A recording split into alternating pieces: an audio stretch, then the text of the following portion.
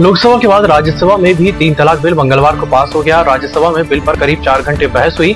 इस दौरान बिल को सिलेक्शन कमेटी के पास भेजने का प्रस्ताव चौरासी के मुकाबले सौ वोटों से गिर गया।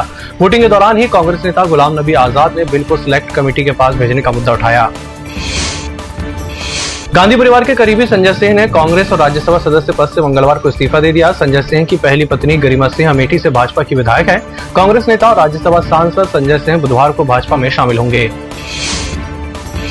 उन्नाव दुष्कर्म पीड़िता ने हादसे से पहले chief justice of India Ranjan Gogoi को खत लिखकर मदद की अपील की थी। 12 जुलाई को लिखे गए इस पत्र में पीड़िता ने कहा था कि उन लोगों पर एक्शन लिया जाए जो धमकाते हैं।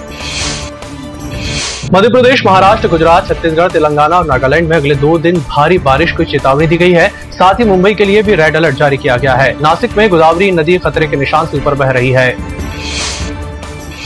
पाकिस्तान के पीएम इमरान खान ने जबरन धर्म परिवर्तन को गैर इस्लामिक करार दिया। उन्होंने कहा कि जो इस कार्य में लिप्त हैं, वे मुस्लिम इतिहास को नहीं जानते।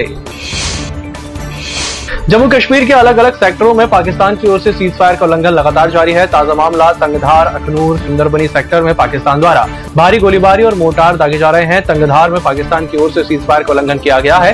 भारतीय सेना इसका करारा जवाब दे रही है। उत्तर प्रदेश के रामपुर में जौहर यूनिवर्सिटी पर प्रशासन ने छापा मारा है। इस दौरान पुलिस को करीब 300 किताबें अभी तक मिल चुकी हैं। पुलिस का कहना है कि ये किताबें चोरी की गई थी।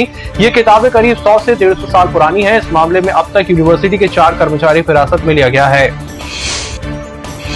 पश्चिम बंगाल के नए राज्यपाल के तौर पर जगदीश धनगढ़ ने शपथ ले ली है। इन्होंने केसरीनाथ त्रिपाठी की जगह ली है। राजभवन में आयोजित शपथ ग्रहण समारोह में कलकत्ता उच्च न्यायालय के मुख्य न्यायाधीश टीबीएन राधाकृष्णन ने उन्हें शपथ दिलाई।